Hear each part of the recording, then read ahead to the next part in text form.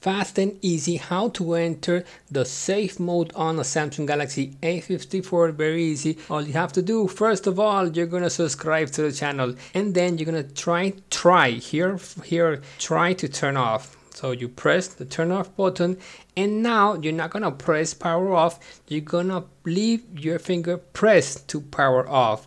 You leave your finger finger press and then you have the option of safe mode and that's gonna make your phone go in reboot and enter. Look what is safe mode. Let's wait a moment and i'll show you that we're gonna enter in safe mode.